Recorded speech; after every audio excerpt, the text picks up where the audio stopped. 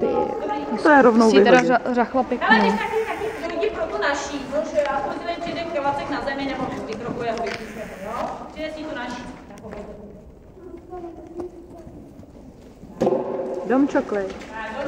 ty? Tak, zůstaň v klidu.